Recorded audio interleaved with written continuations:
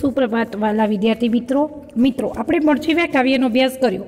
હવે તેની શબ્દ સમજૂતી અને તેનો સ્વાધ્યાય છે તેનો અભ્યાસ કરીશું. તો જોઈએ પહેલાં સમાનાર્થી શબ્દો, ગહેવર એટલે બખોલ કે ગુફા, અટક એટલે ટેકીલું, મરજીવ્યા એટલે જીવના જોખમે દરિયામાંથી મોતી કાઢનાર, પ્રદીપ્ત એટલે સળગેલું, અથાગ એટલે પાર વિનાનું, સજલ નેત્ર તો કે આંસુ ભરેલી આંખો, અફાટ એટલે કે અપાર, ખૂબ વિશાળ રત્નાકર એટલે સમુદ્ર, દરિયો, રત્નોનો સમૂહ. અગાધનો અર્થ થાય છે અતિ ઊંડું. તળો એટલે તળિયા, અખૂટ એટલે ખૂટે નહીં એવું, અપાર. વારવું એટલે અટકાવવું. વિરુદ્ધાર્થી શબ્દ છે ઉત્સાહ. તો નિરુત્સાહ. વિકરાલનું વિરુદ્ધાર્થી સુંદર. વિકરાલ એટલે ડરાવવું ન ગમે એવું. તમોમયનો વિરુદ્ધાર્થી તેજોમય. તમ એટલે અંધકાર, તેજ એટલે પ્રકાશ. તળપદા શબ્દો છે રૂઠા તો નકામું. કીધ, તો કીધો. તળ, તો તળિયું. હવે સ્વાધ્યાય છે, એમાં પહેલા ઓપ્શનવાળા પ્રશ્નો છે કે મરજીવિયાના પ્રિયજનો માટે નીચેનામાંથી કઈ બાબત લાગુ પડતી નથી? જોઈએ પહેલું, રડતા રડતા આડા ફર્યા. તો કે ના, એ બરાબર છે લોકો રડતા રડતા આડા ફરે જ છે.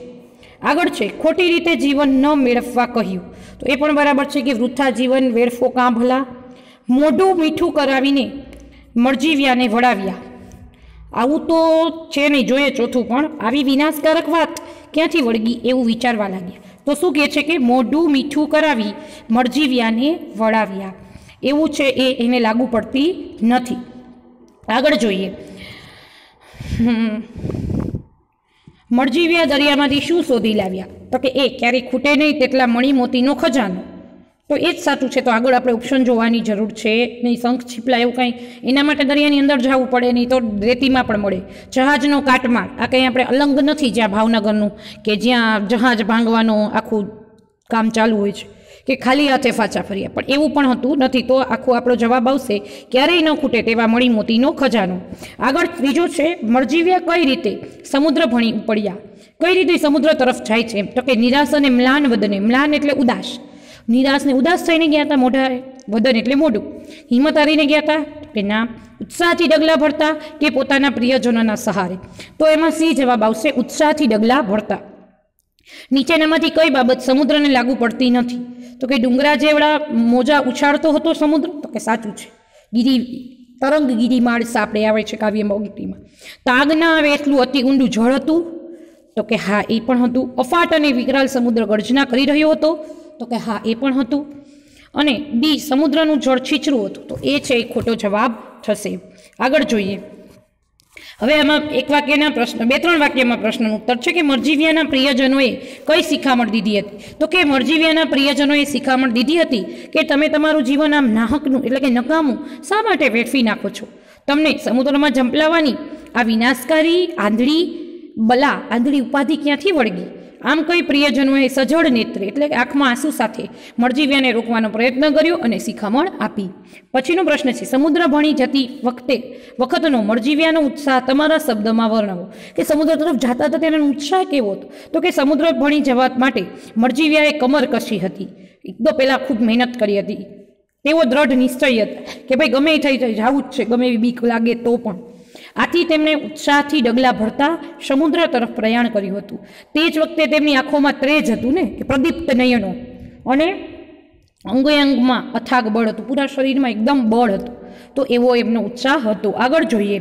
સાત આઠ વાક્યમાં ઉત્તર લખો. મરજીવ્યા કાવ્યમાં વ્યક્ત થતો જીવન માટેનો દ્રષ્ટિકોણ તમારા શબ્દોમાં ચર્ચો શું કહે છે? કે મરજીવ્યા છે? એમાં જીવનમાંથી આપણને શું શીખવા મળે છે? તો કે સમુદ્રના છેક તળિયા સુધી ડૂબકી મારીને મોતી લાવનારાઓને મરજીવ્યા કહે છે. તેઓ જાણે છે કે સમુદ્રના પાણી ઊંડા છે. એમાં અનેક હિંસક જળચર પ્રાણીઓ છે. તેમ છતાં એમનું મન મક્કમ છે. એમના હૃદયમાં ઉત્સાહ અને સાહસ છે. ટૂંકમાં ડરતા નથી. તેમના પર પ્રિયજનોની શિખામણની અસર થતી નથી. નહીં તો કોઈક બીવડાવે તો આપણે તો બી જઈએ ઘણા બધા કે ભાઈ આમ ન કરાય, આવું થશે તો આપણે ડરી જાય, પણ એ ડરતા નથી. તેઓ મૃત્યુના આથી સહેજ પણ ડર્યા વગર તેઓ જીવનું જોખમ ખેડે. તેમનું એક જ લક્ષ્ય કે ગમે એ થાય, મોતી લઈને જ રહેવું છે. એટલે એઓ ડર્યા વગર જીવનું જોખમ ખેડે છે કે જીવના જોખમે પણ પ્રયત્ન કરે છે. તેઓ મૃત્યુના મુખમાં પ્રવેશ્યા હોય, એમ સમુદ્રના અંધકારમય તળિયાને ખૂંદી વળે છે. શું કહે છે? મૃત્યુના મુખમાં, કાળના ગહવર એટલે કે મોતની ગુફામાં જાણે પ્રવેશ કર્યો હોય, એમ અંધકારમય છે. એ સમુદ્રના તળિયા સોરી એને ખૂંદી વળે છે. પરિણામે તેઓ મણિમોતીનો અખૂત ખજાનો મેળવીને બહાર આવે છે. જો આટલી મહેનત કરે છે, તો એને એ પરિણામ પણ સારું મળે છે. તો એ જ શીખવાનું છે આપણા જીવનમાંથી પણ. કે મરજીવેની જે મનુષ્ય પણ જીવનમાં ગમે તેવા સંઘર્ષોનો સામનો કરવો પડે. તો એનાથી સહેજ પણ ડરવું જોઈએ નહીં. અત્યારે જ આપણે જોઈએ છીએ કે આપણા અત્યારે આપણે કોરોના મહામારીથી બધા લડી રહ્યા છીએ. તો આપણે ડરવું જોઈએ નહીં. જે થાય બધાનું થવાનું જ છે સાથે. પણ હિંમતથી તેનો સામનો કરવાનો. જે સરકારે આપણને ગાઈડલાઈન આપી છે એનું પાલન કરવું. અને આપણું લક્ષ્ય હોય, જે આપણા અભ્યાસ પ્રત્યેનું, એને વળગી રહેવાનું.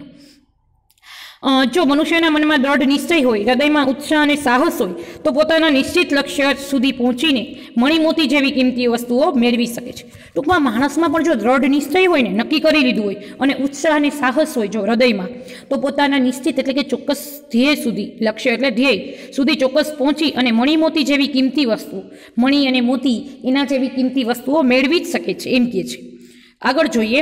સાત આઠ વાક્યમાં ઉત્તરમાં બીજો પ્રશ્ન છે, મરજીવ્યાની સફળતા પાછળનું રહસ્ય તમારા શબ્દોમાં વર્ણવો. કે મરજીવ્યા શું કામ સફળ થાય છે? તો કે મરજીવ્યા સમુદ્રના તળિયેથી મણીમોતીનો ખજાનો મેળવવામાં સફળ થાય છે. કારણ? શું કારણ છે એની પાછળ? તો કે દ્રઢ નિશ્ચય છે. પહેલું જ કારણ છે કે દ્રઢ નિશ્ચય છે. કોઈ નિર્ણય લઈ લીધો, પછી આપણે શું નિર્ણય લઈ લઈએ? કે પહેલો નંબર લેવો છે. પણ પછી એને અડગ ના રહીએ વાંચીએ નહીં, ટેસ્ટમાં તૈયારી ન કરીએ, તો એ મતલબ નથી. દ્રઢ નિશ્ચય એટલે જે નિર્ણય લીધો છે એની પર અડગ રહેવું એમના હૃદયમાં ઉત્સાહ અને આંખોમાં તેજ હોય છે.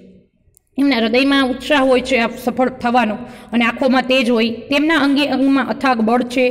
તેઓ પ્રિયજનોના આંસુ કે શિખામણથી સહેજ પણ વિચલિત થતા નથી. આ બહુ થાય આપણને. કાંઈ ન હોય, પરીક્ષા તો આવશે. હવે કાંઈ કોરોના છે, એનામાં કાંઈ એક્ઝામ લેવાની નથી. એમ આપણે વિચલિત થઈ જાય. અને ટીવીને મોબાઈલમાં વધુને વધુ સમય આપણે વેડફી નાખીએ. તો એવું કરવાનું નથી. કોઈ પણ વસ્તુમાં આપણે વિચલિત થવાનું નથી. એમને સમુદ્રની વિકરાળ અફાટ ગર્જનાનો પણ ડર લાગતો નથી. શું કહે છે? કે એમને સમુદ્ર છે, એની અફાટ વિકરાળ જે ગર્જના થાય છે, એનો પણ ડર લાગતો નથી. તેઓ સાહસી છે, એટલે જીવન, જીવનું જોખમ ખેડવા તૈયાર થાય છે અને મૃત્યુના મુખ સુધી પહોંચવાનું બીડું ઝડપે છે. ગમે એ થાય, જીવના જોખમે પણ ભલે મૃત્યુ પણ મળે, પણ જેને મેળવવું છે, મેળવીને જ રહે છે એમ. આ સાહસિક મરજીવ્યા સમુદ્રના તળિયા ખૂંદી વળે છે અને મણિમોતીનો મૂલ્ય ખજાનો લઈને બહાર આવે છે. મરજીવ્યાની સફળતા પાછળનું રહસ્ય એમના રહેલા ઉમદા રહસ્ય એમનામાં રહેલા ઉમદા ગુણો છે. આ સારા ગુણો છે, દ્રઢ નિશ્ચય, પછી અડગ મનોબળ, એમના હૃદયમાં પણ ઉત્સાહ, તેજ હોય અને સાહસી વૃત્તિ જે છે એની, એ જ એમનું આજે છે એ સફળતાનું રહસ્ય કહી શકીએ આપણે. આગળ છે કાવ્ય પંક્તિનો અર્થ સમજાવો. કે ખુદ્યા મરણના તમોમય તળોને પામ્યા, ખૂટમણી મોતી કોષ લઈ બહાર એ આવ્યા. નીચેની કાવ્ય પંક્તિ છે એ સમજાવવાની છે. તો કે શું કહે છે? તો કે સાહસિક મરજીવ્યાએ સમુદ્રના છેક તળિયા સુધી ડૂબકી મારી છે. પરંતુ ત્યાં તો મૃત્યુના મુખમાં પ્રવેશ્યા હોય તેવું ગાઢ અંધકારમય વાતાવરણ હતું. હવે અહીંયા તો પ્રકાશ હોય નહીં. સમુદ્રના અંદર તો એકદમ તળિયામાં. ત્યાંય પહોંચી ગયા. તો જાણે એમ લાગે કે મૃત્યુના મુખમાં એટલે કે હમણાં જ મરી જશું. એમાં અનેક હિંસક જળચર પ્રાણીઓ પણ હતા. મેં કીધું હતું મગર ને શાર્ક મોટી મોટી માછલીઓ હોય તો એ પણ હોય એમાં. છતાં પણ સહેજ ડર્યા વગર તેઓ છે એ સમુદ્રને ખૂંદી વળ્યા અને અમૂલ્ય અકૂટ મણીમોતીનો ખજાનો લઈને હસતા મુખે એમ ખેમ બહાર આવ્યા.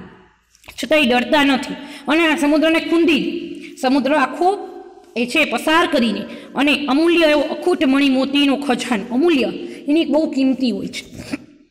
એવું છે, એ મણિમોતીનું ખજાનો છે, એ લઈને હસતામુખ હેમખેમ એટલે સાજા નરવા બહાર આવે છે. જીવનમાં પણ આવી સાહસિક વૃત્તિ હોય, મનમાં દ્રઢ વિશ્વાસ હોય, હૃદયમાં ઉત્સાહ અને સાહસ હોય, તો માનવી જીવ, જીવનું જોખમ ખેડીને ગમે તેવા સંઘર્ષોનો સામનો કરી શકે છે અને નિશ્ચિત લક્ષ્ય સુધી પહોંચવામાં સફળ થાય છે. ટૂંકમાં બે પંક્તિ છે નથી ખાલી મરજીવ્યાની જ વાત નથી. પણ જીવનમાં પણ આપણે છે એ સમજ લેવાની છે કે કેમ મરજીવ્યા આપણે કેવી રીતે ઉપયોગી થાય આપણા જીવનમાં? તો કે આપણે એ શીખવાનું છે. એમાંથી કે દ્રઢ આપણે નિશ્ચય રાખીએ. હૃદયમાં આનંદ ઉત્સાહ હોય અને એકદમ સાહસ હોય, તો ડર્યા વગર આપણે જીવના જોખમ ભલે થાય, પણ આપણે છે એ આપણા લક્ષ્યને મેળવીને જ રહીએ. એવું આ પંક્તિ દ્વારા આપણને સમજવા મળે છે. મિત્રો, અહીંયા છે એ આપણે સ્વાધ્યાયનું છે એ પૂર્ણ થાય છે. આશા રાખું છું તો કે તમને પાઠ આખો અને સ્વાધ્યાય પણ સમજાઈ ગયું હશે.